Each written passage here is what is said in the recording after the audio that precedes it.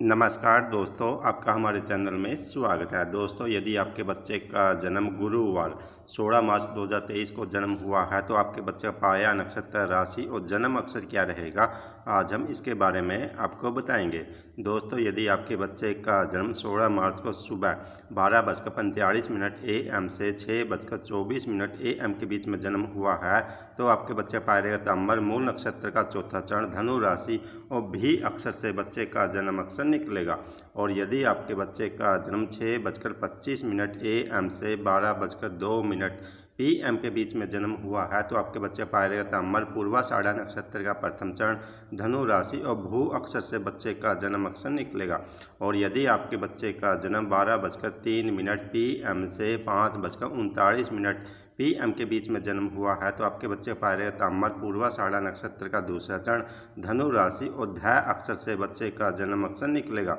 और यदि आपके बच्चे का जन्म पाँच बजकर चालीस मिनट पी एम से ग्यारह बजकर तेरह मिनट पी एम के बीच में जन्म हुआ है तो आपके बच्चे पाएगा तामर पूर्वाषाढ़ा नक्षत्र का तीसरा चरण धनु राशि और फा अक्षर से बच्चे का जन्म अक्षर निकलेगा। और यदि आपके बच्चे का जन्म ग्यारह बजकर चौदह मिनट पी एम से चार बजकर सैंतालीस मिनट ए एम सत्रह मार्च 2023 को जन्म हुआ है तो आपके बच्चे पाएगा तमर पूर्वाषाढ़ा नक्षत्र का चौथा चरण धनु राशि और डा अक्षर से बच्चे का जन्म अक्षर निकलेगा। धन्यवाद।